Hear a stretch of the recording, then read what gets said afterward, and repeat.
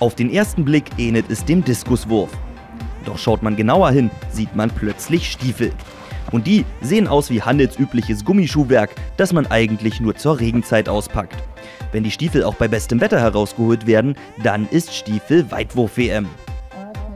Von vielen wird der Stiefel-Weitwurf belächelt, dabei ist es ein Sport mit großer Tradition. Schon im 19. Jahrhundert in Finnland erfunden, seit 1975 offizieller Mannschaftssport. Wenn wir nicht werfen, haben wir Spaß. Aber wenn so wie jemand am Sportfeld ist und es wird geworfen, ist Hochkonzentration.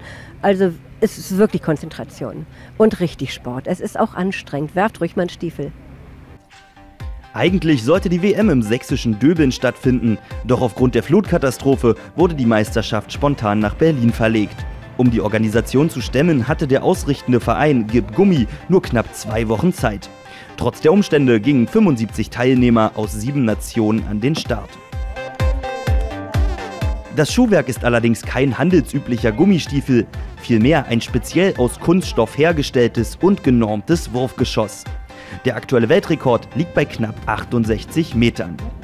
Um die Stiefel möglichst weit zu werfen, gibt es zwei Techniken. Zuallererst muss man den Stiefel fest packen, denn die Sperrwerftechnik geht über den Kopf rüber beim Wurf, die dann eben beim Werfen über den Kopf geht. Die Diskustechnik, die geht seitwärts. Im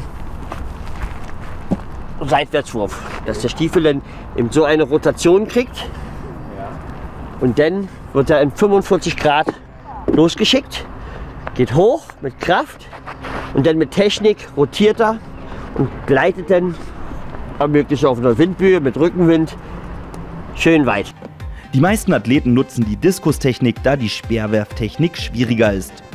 Von jung bis alt, egal ob Frau oder Mann, alle sind bei der Weltmeisterschaft auf dem Borsigplatz vertreten. Am Ende waren wieder einmal die Finnen die dominierende Nation. Immerhin, im Mannschaftswettbewerb kam Deutschland auf Rang 2.